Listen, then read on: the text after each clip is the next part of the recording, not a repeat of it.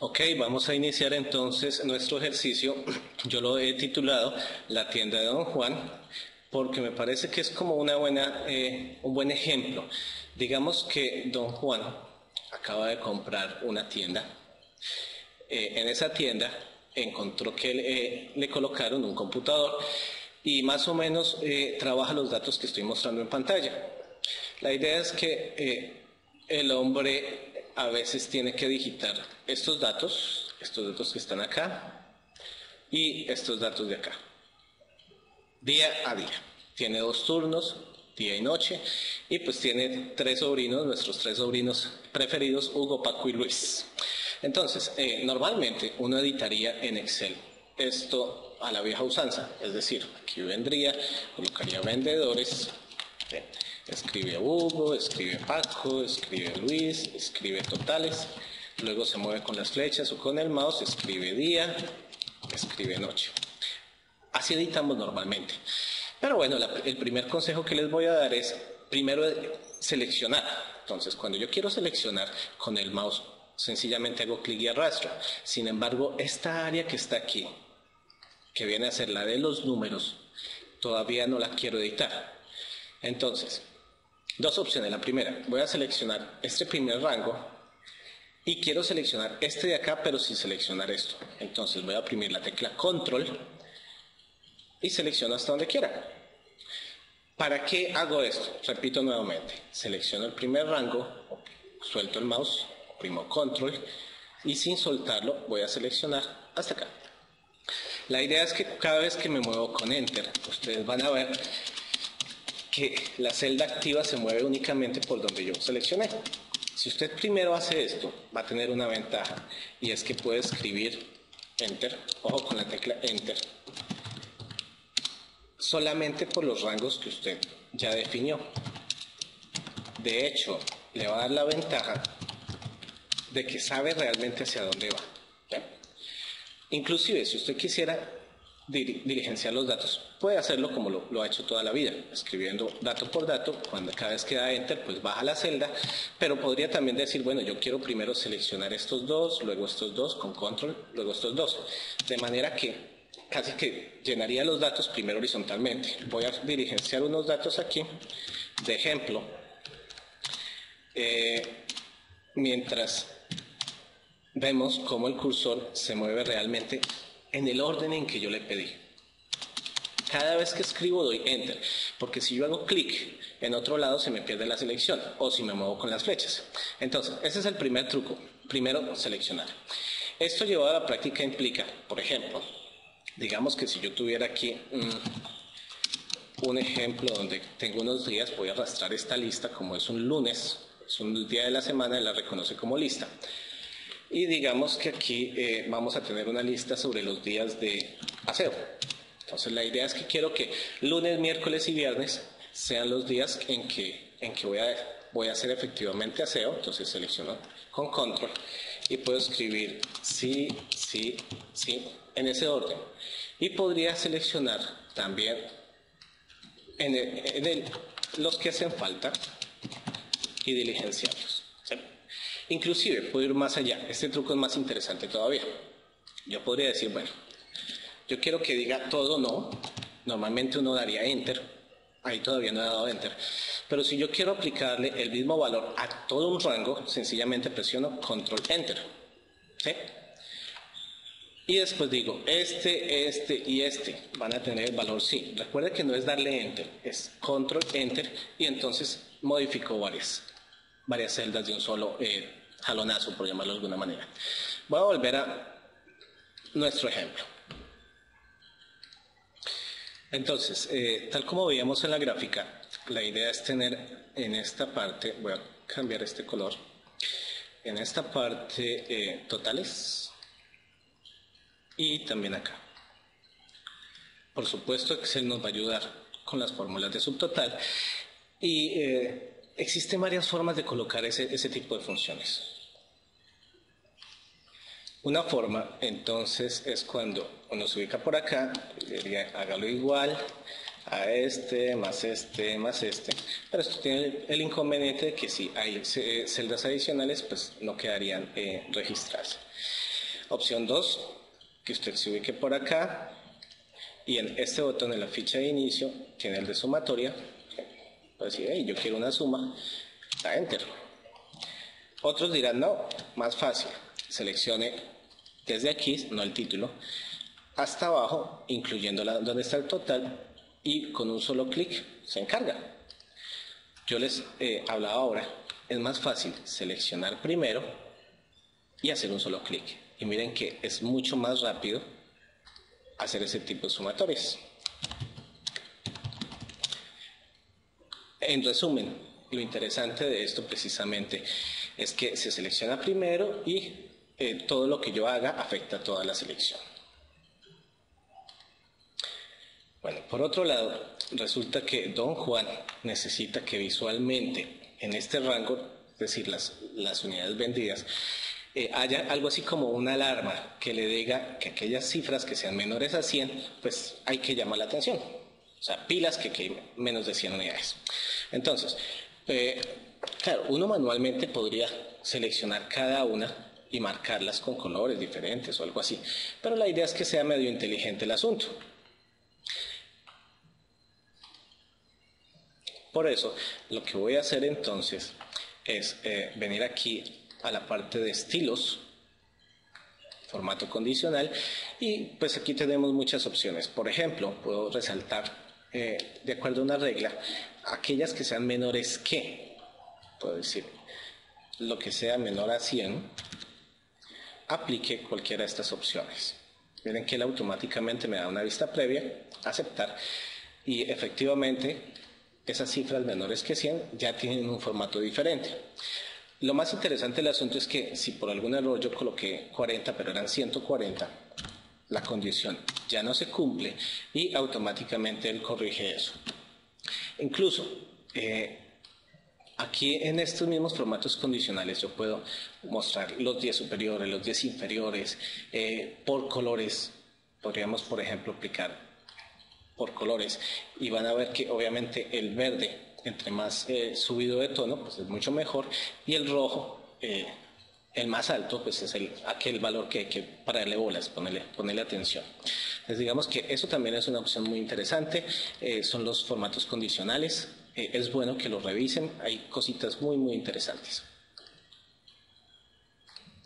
Incluso, ¿Qué pasaría si uno de nuestros vendedores sabe que existe el formato condicional y dice, bueno, pero es que este 40 eh, yo lo quiero colocar en color verde y le aplica manualmente un color?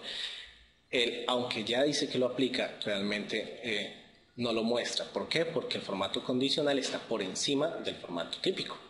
Entonces, como ven, eh, es una opción realmente interesante. Igual se pueden eliminar las reglas, todo eso está por acá, yo puedo decir, hey, quiero borrar todas las reglas que puse y bueno, lo que necesite.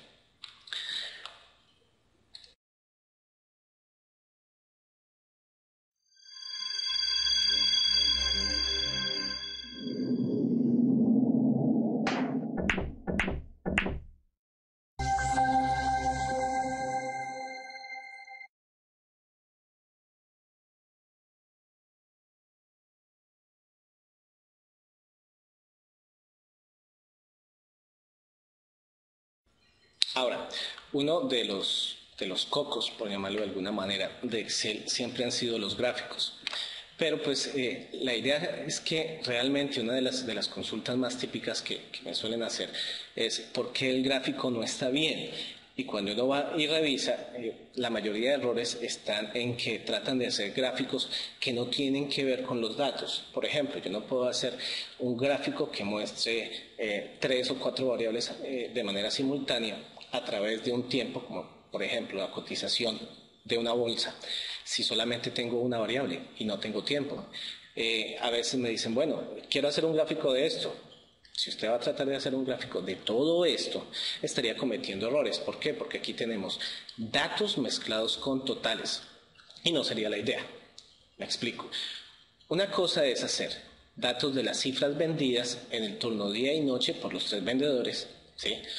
A mostrar un gráfico que muestre el total de día y de noche o un gráfico que muestre las, los totales de los tres vendedores sin tener en cuenta el, el turno, si es día o es de noche. Entonces digamos que eso es realmente lo más, lo más difícil, por llamarlo de alguna manera, que el usuario pueda saber qué es lo que quiere graficar y cómo lo va a hacer. ¿Por qué? Eh, lo voy a hacer acá. Voy a seleccionar este rango de datos porque son los... quiero un gráfico que tenga las ventas de vendedor respecto al día y la noche. Entonces yo lo único que tengo que hacer es seleccionar. Realmente esa es la parte difícil, porque si usted teniendo estos datos seleccionados oprime la tecla F11, lo voy a hacer aquí, F11, ya tengo un gráfico, es decir, se crea un gráfico automático con un tipo de gráfico ya predeterminado, pero es suficiente para ver esos datos que nosotros teníamos en pantalla. O sea, él me crea una, una hoja adicional y ya a partir de aquí, pues hombre, ya puedo cambiar los gráficos como siempre lo hemos venido trabajando, cambiar el tipo de gráfico, lo que ustedes deseen.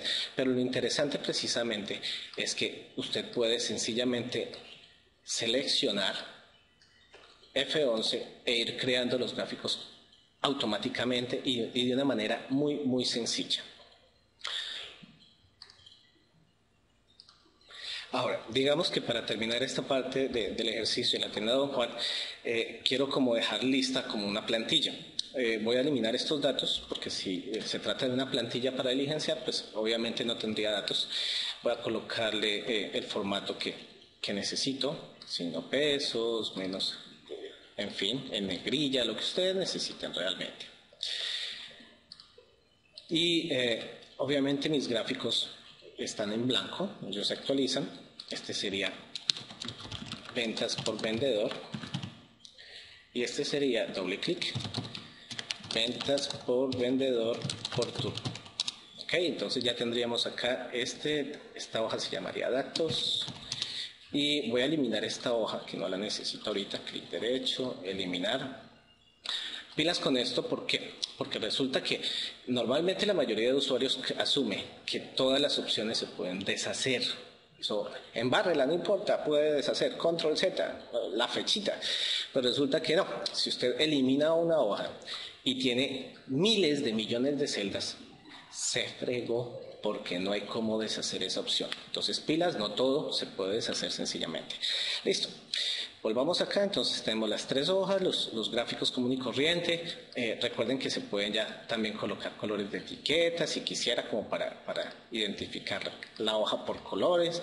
En fin, toda esta parte es como, como a gusto del, del usuario. Ya tengo todo lo que necesito. De pronto eh, voy a insertar aquí una celda. Vamos a hacerlo. Y otra más voy a colocar aquí la fecha, voy a utilizar una función, esta función se llama hoy, y entonces siempre me va a colocar la fecha al día. Esto que está aquí, yo lo quiero convertir en una plantilla. Lo normal es que los usuarios, la mayoría de los usuarios, si necesitan eh, crear el reporte de los, de los datos de vendidos de hoy, abrirían el archivo de ayer. Irían, lo buscarían, comenzarían a modificar los datos, pero ahí se corre un riesgo, y es que si accidentalmente yo sobrescribo el archivo, pues dañé el de ayer. E inclusive si ese archivo anterior trae basura, pues este también. Entonces la idea es crear una plantilla que siempre esté lista, que tenga lo que debe tener, que tenga los espacios sí, aplicables. Y listo. Por ahora no voy a ponerme a trabajar con eh, hojas protegidas ni nada de eso, pero obviamente sería, la idea sería llegar en un ejercicio posterior a eso. Entonces, yo lo que quiero hacer es guardar esto como una plantilla. Entonces me voy a archivo, guardar como. Y miren que lo importante realmente es aquí donde dice tipo.